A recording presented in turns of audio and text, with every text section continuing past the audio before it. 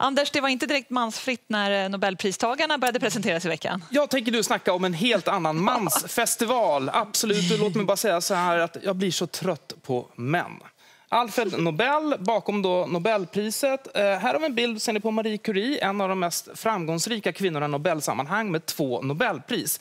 Låt oss då titta på hittills hur det ser ut i år när det gäller Nobelprisen. Hur många män respektive kvinnor som då har fått eh, priserna år. Och här ser vi då en stapel. Nej, vi ser ingen stapel här. Nej. Det är 0 Den är obefintlig. kvinnor och 100% män. Tittar vi från starten då så är det ungefär, lite drygt faktiskt 5% av prisen som har delats ut är då till kvinnor. Det här kan ju ha många olika orsaker.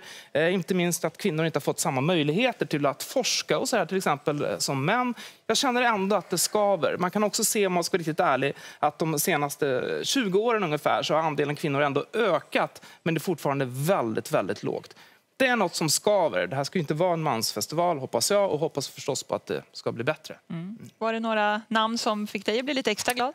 Det är två priser som jag tror som man ändå känner lite extra för. Fredspriset, här blir det ICAN som då kämpar för ett förbud för kärnvapen, väldigt aktuellt just nu. Och sen har vi Asho Ishigori och då handlar det om litteraturpriset. Många kanske inte har läst honom, men man kanske har sett filmen. Ja. Och då tänker jag på Återstoden av dagen. Det är en fantastisk bok, men jag skulle ändå säga att det är en ännu mer fantastisk film.